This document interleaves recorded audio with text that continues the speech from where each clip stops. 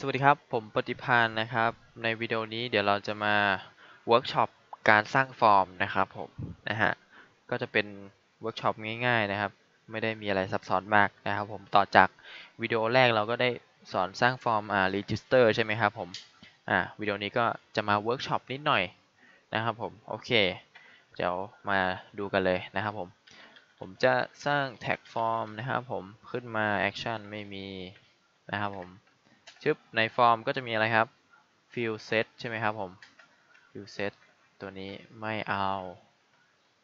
ชึบชึบชึบชึบนะครับผม อ่า ในนี้ก็จะมี legend ใช่ไหมครับ legend เอาเป็นข้อมูลสมาชิกแล้วกันข้อมูลสมาชิกนะครับผมชึบอ่าตรงนี้ผมก็จะเขียนเป็น label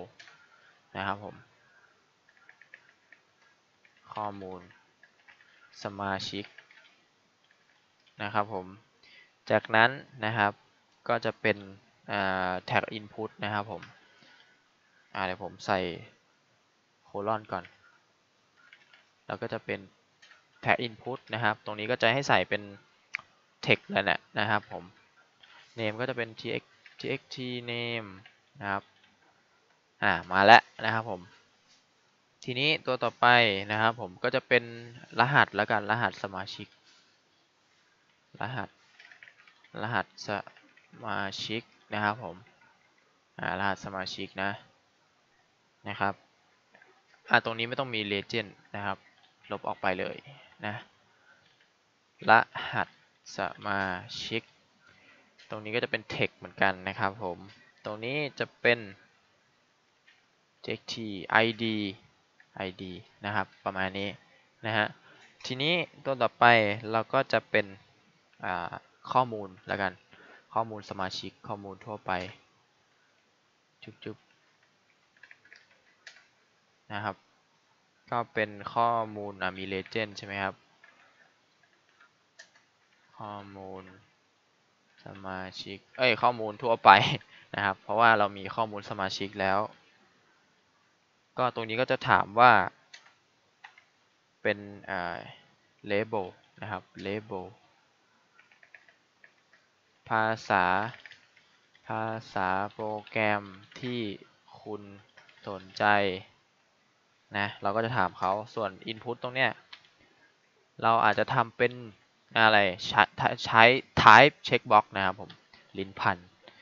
อ่า checkbox หรือใครจะเป็น radio ก็ได้นะครับ เรดิโอนี้เหมาะสำหรับตัวเลือกที่มันมีไม่เยอะ แต่ถ้า checkbox เนี่ยเหมาะสำหรับตัวเลือกที่มันมีเยอะนะครับผมนะฮะโอเค type input type check box name language นะครับนะทีนี้ก็จะเป็นอ่าภาษาอะไรดี HTML เนาะเอา HTML แล้วกัน BR ต้องเว้นวรรคด้วยนะนะครับ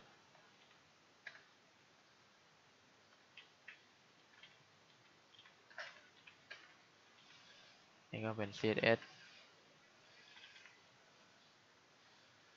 JS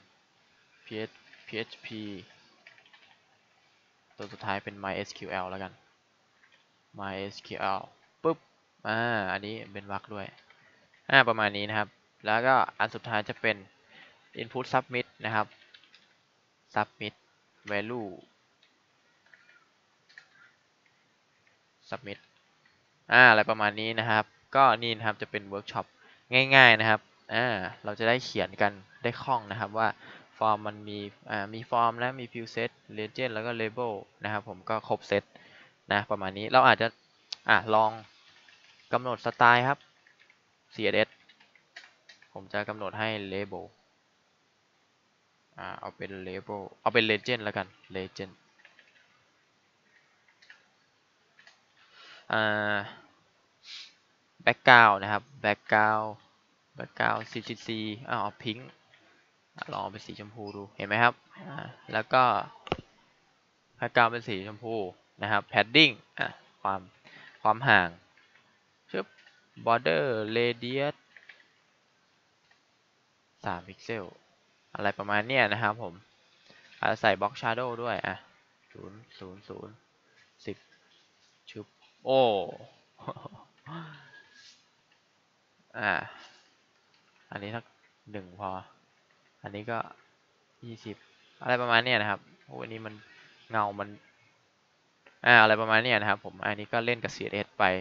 พลางๆนะครับ ก็ประมาณนี้ครับ เวิร์กช็อปนี้ไม่มีอะไรมากนะครับผม ต่อไปเดี๋ยวเรามาดูการสร้าง อ่า พวก อ่า เกี่ยวกับ URL นะครับ ช่องช่องรับ อ่า URL ด้วย อ่า attribute URL นะครับผมแล้วก็พวก date อ่าพวกอัปโหลดไฟล์อะไรพวกนี้นะครับ เดี๋ยวเรามาดูกันในวิดีโอต่อๆไปใกล้จบแล้วนะครับ ผมใกล้จะไป CSS แล้วนะครับ ยังไงก็อะยังไงเจอกันวิดีโอหน้าครับ ขอบคุณทุกท่านที่เข้ามารับชมครับผม สวัสดีครับ